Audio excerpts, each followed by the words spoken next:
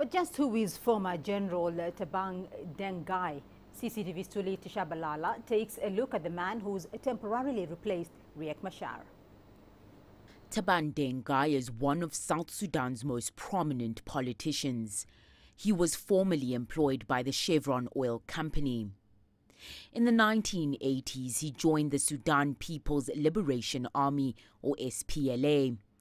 The war was fought for independence from Sudan, but there were splits within the independence movement. And in 1991, Deng Gai was one of the commanders of a breakaway faction of the SPLA.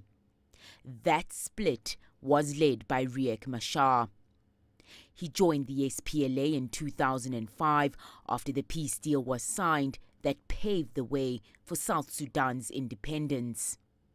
He served as the governor of Unity State and in 2010 kept his position after running against Riek Machar's wife in controversial elections. He remained governor until 2013 when President Salva Kiir fired him unexpectedly.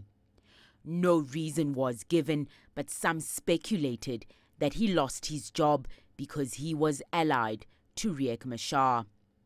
Thuli Tshabalala, CCTV.